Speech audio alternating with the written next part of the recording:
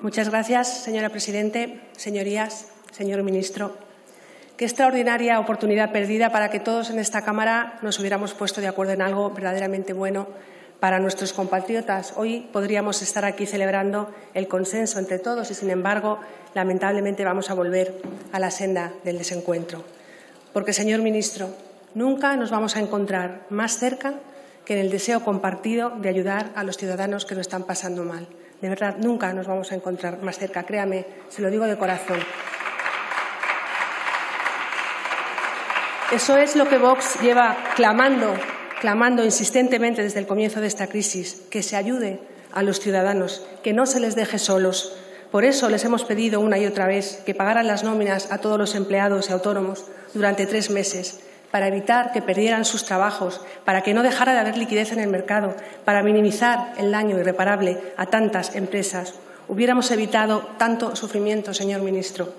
Y, sin embargo, ustedes prefirieron abandonar a los españoles a su suerte, permitiendo la destrucción del tejido productivo e impidiéndoles trabajar a cambio de una prestación que ni siquiera han sido capaces de garantizar a todos.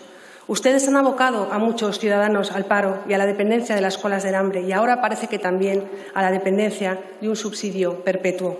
Señorías, Vox cree firmemente que hay que sostener a las personas que lo necesitan. Vox cree que es necesario un sistema de protección social fuerte que lo garantice y que es necesaria una ayuda extraordinaria y temporal para complementar el sistema y para apoyar a las familias que no pueden acceder al mercado laboral. Lo podemos decir mucho más alto pero no más claro. Queremos un sistema de protección fuerte para los españoles y para todas las personas que residen de forma legal en España y una ayuda extraordinaria temporal para sostener a nuestras familias. Espero que lo hayan oído bien. El señor Rufián ha salido, pero si son tan amables se lo cuentan después. Pero desgraciadamente, señorías, la medida que discutimos hoy aquí no es una medida extraordinaria y temporal, ideada para solucionar el problema económico y social que ha generado esta crisis sanitaria que no se engañen los españoles. La medida que discutimos hoy aquí no es más que la famosa y esperada medida estrella del señor Iglesias, una medida sin la que el Partido Socialista no habría obtenido el apoyo de Podemos para gobernar. Una medida que ya formaba parte del plan que el señor Iglesias y su partido tenían para España mucho antes de que todo esto pasara. La implantación del ingreso mínimo vital justo ahora y de esta forma no es más que el precio que tenemos que pagar por el pacto con el diablo firmado por el señor Sánchez para alcanzar su objetivo.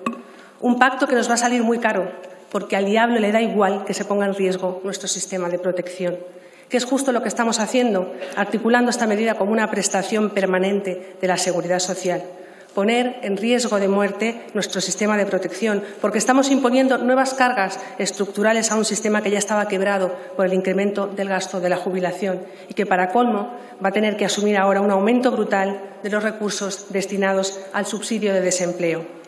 Pero es que además este ingreso mínimo vital va a prolongar la situación de desigualdad entre españoles generada por las autonomías, señor ministro, justo cuando teníamos la oportunidad de ordenar el sistema de protección de rentas mínimas autonómicas para que dejara de haber de una vez por todas españoles de primera y españoles de segunda, por lo menos a la hora de combatir la pobreza.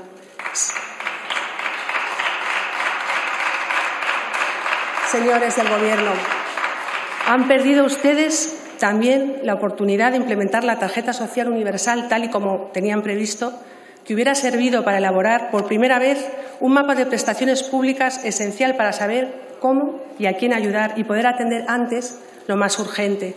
Y para colmo traspasan a Navarra y a País Vasco funciones y servicios que corresponden al Instituto Nacional de la Seguridad Social, sucumbiendo de nuevo al chantaje de sus otros socios rompiendo definitivamente la caja única e hiriendo de muerte al Pacto de Toledo, algo que es gravísimo, señor ministro.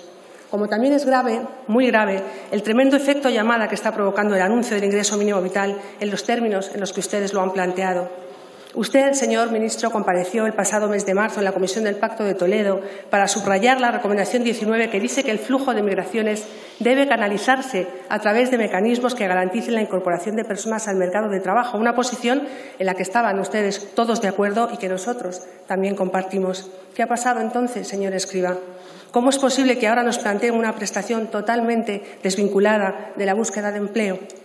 Señor ministro, con la que está cayendo no tiene ningún sentido, ninguno, que se permita ser beneficiario del ingreso mínimo vital a las personas que tengan la residencia legal en España solo un año antes de la solicitud, sabiendo lo fácil que resulta cumplir este requisito. Es imposible que podamos hacer frente a todas las solicitudes que nos van a llegar.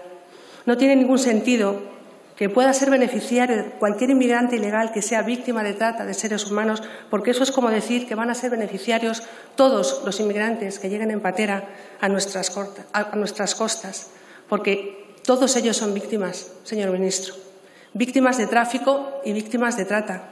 Y lo son porque están en una situación de vulnerabilidad terrible, terrible. O es que cuando una madre se mete en una patera con su bebé arriesgando su vida y la de su hijo, después de haber pagado un dinero que no tiene a las mafias de tráfico, dinero que probablemente esas mismas mafias le han prestado a saber a cambio de qué y con qué intereses, no es ya moralmente una víctima de trata. Señorías, señorías, todos los países desarrollados tenemos la obligación legal y moral de ayudar a los países más pobres. Tenemos la obligación de crear condiciones económicas y comerciales justas para que puedan salir de la pobreza. Tenemos el deber de ayudarles en origen para que no se vean obligados a dejarlo todo, a venderse a las mafias y arriesgar sus vidas en el trayecto. Precisamente para eso están las políticas de cooperación internacional, a las que debemos contribuir con la mayor generosidad y la mayor responsabilidad.